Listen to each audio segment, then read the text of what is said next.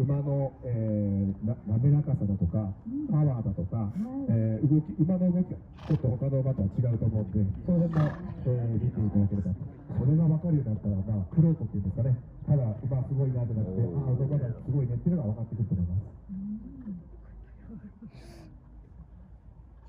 このコンビは何年ぐらい？や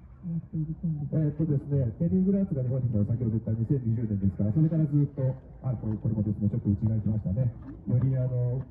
経路を短く取って、馬と、えー、こう気合わせながら、障害物のいいところが振り返りますね。はい増減があると馬疲れます。もしくは急回転すると馬が疲れます。ですから、はい、急カーブすると馬は疲れるので、そうならないようにスムーズな走行だと思います。この後は西永田です。こう水の飛び込みが多いですね。はい、早いですね。ああダイナミックなこうゆったりと大きな駆け足をしながら障害設置してますから。うんで一つ一つの障害を飛ぶときに馬が、ね、踏み切るときにパーンと少し音がすると思うんですけど、それだけ馬は力をためて障害に向かってますから、まああのちょっとね、先に言ってた方がかもしれませんけど、駆け足のリズムだとか、うん